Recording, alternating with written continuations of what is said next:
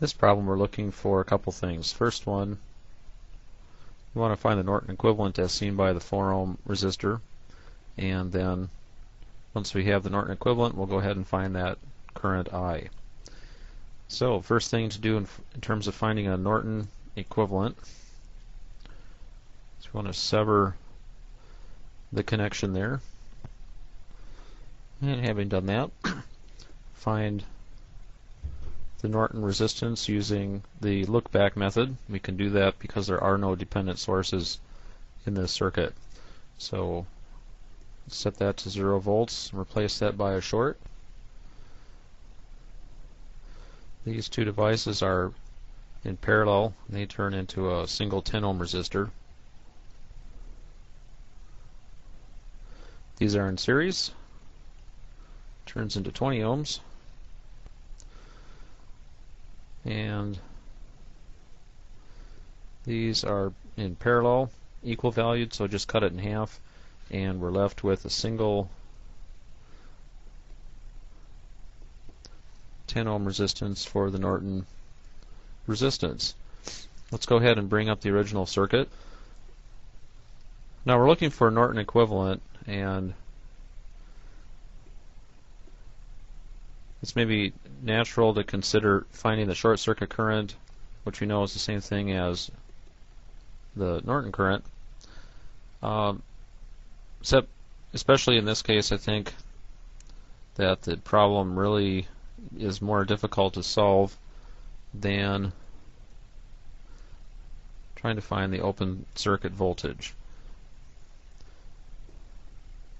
Because if we do that, it turns out that um, if we apply some nodal analysis, we get a pretty simple set of equations to solve. So uh, if we find the open circuit voltage, we know the Thevenin voltage is the same thing, and we can always get the Norton current as the Thevenin voltage over our Norton resistance, which is the same thing as Thevenin resistance, of course. So let's go ahead and give this a try. Uh, I think nodal analysis is probably the best bet for that circuit. And for our first equation, uh, let me jot that down up here, I guess.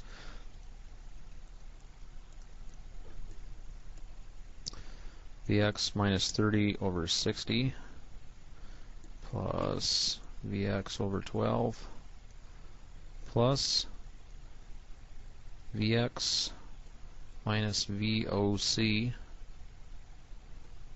over 10 equals 0. For the second equation associated with VOC, we'll have VOC minus 30 divided by 20 ohm plus VOC minus VX over 10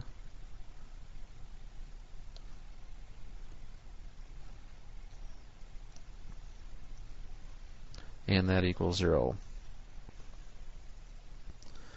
So I've placed those nodal equations into Maple and solution says that the open circuit voltage is 35 divided by 2 volts which we can then use as the result 17.5 volts. So let me bring up the original circuit again.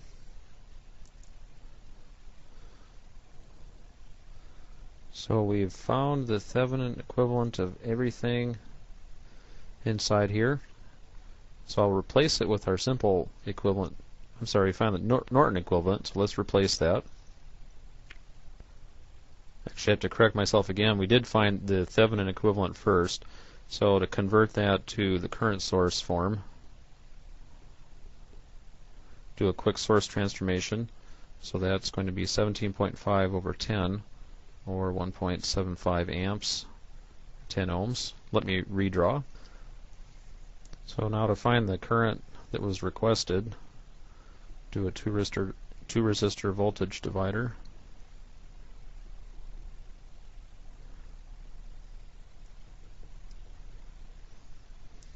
And we get one and a quarter amps.